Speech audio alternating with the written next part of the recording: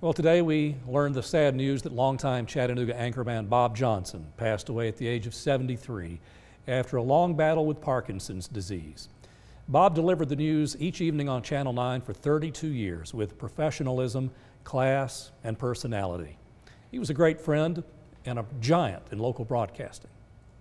From 1975 to 2007, Bob Johnson was a welcome presence in Tennessee Valley living rooms. In the news tonight, a Chattanooga man has been sentenced to life in prison. A lifelong broadcaster who started in radio, Bob was a natural. He had the voice, the communication skills, and he was a brilliant writer.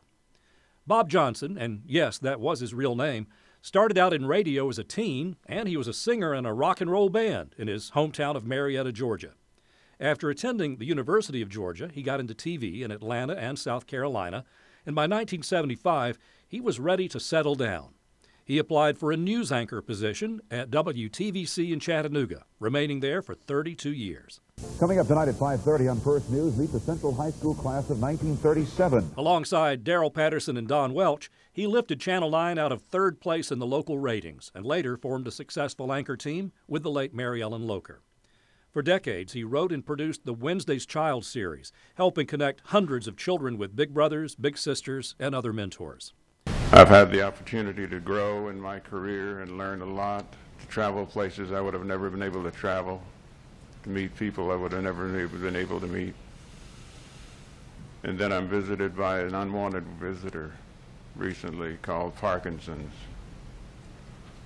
It's hampering my efforts to do my job. I hope I'm able to return very soon. Parkinson's disease forced him to retire early in 2007, but he still enjoyed seeing his fans and reminiscing with old radio and TV friends. Bob will be remembered for making a difficult job look easy and for his authoritative, commanding presence at the news desk. His friends will remember a gentle giant with an abundance of talent, plenty of stories to tell, and great appreciation for those who counted on him for the news every day. And I thought at this point in my life I need to start concentrating on having good health. Mm-hmm.